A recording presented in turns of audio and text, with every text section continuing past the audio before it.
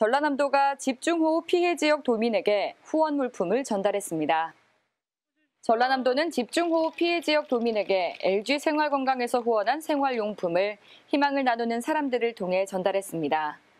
지난 20일 전남도청에서 열린 생활용품 전달식에는 김영록 도지사와 정경식 LG생활건강 부문장, 김동우 희망을 나누는 사람들 부회장 등이 참석했습니다. LG생활건강은 샴푸와 치약, 칫솔 등으로 구성된 생활용품 10억 원 상당의 물품을 집중 호우 피해 지역인 고흥과 장흥, 강진, 해남, 진도에 전달할 예정입니다.